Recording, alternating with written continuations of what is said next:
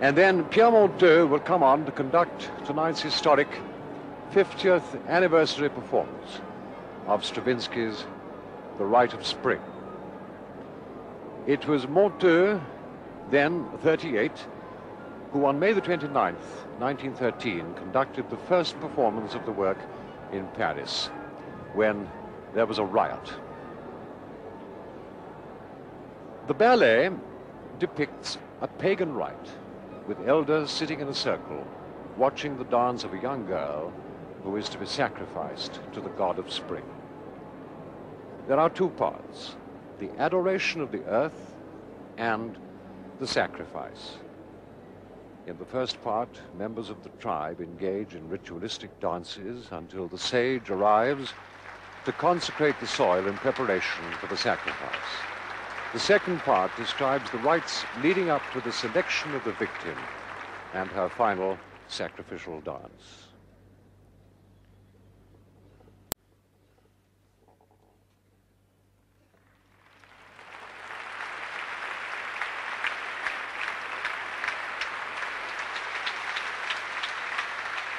Here is Pierre 50 years to the day since he conducted the first performance of Stravinsky's The Rite of Spring.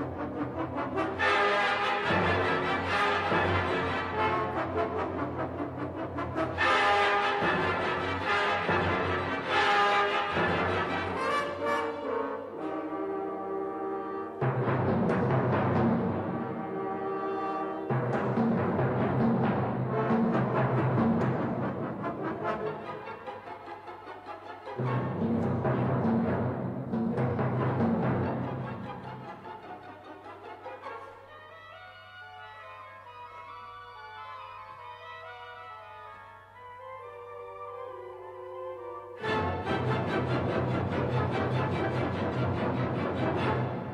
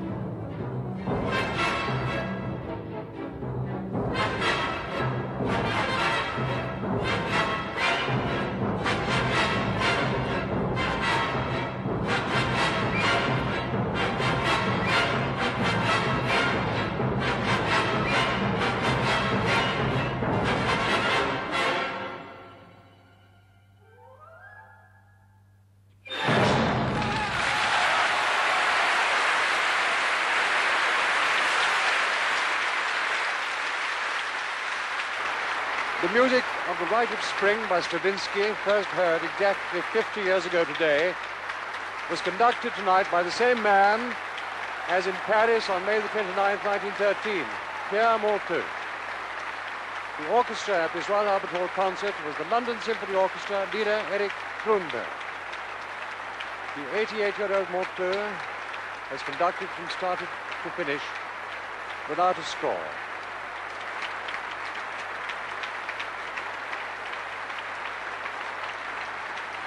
Everyone are craning their necks because it is thought that the composer himself has come here especially for the occasion. Yes, indeed. He can be seen there in box seven, applauding as heartily as everybody. Monteux and Stravinsky stand facing each other on this historic occasion.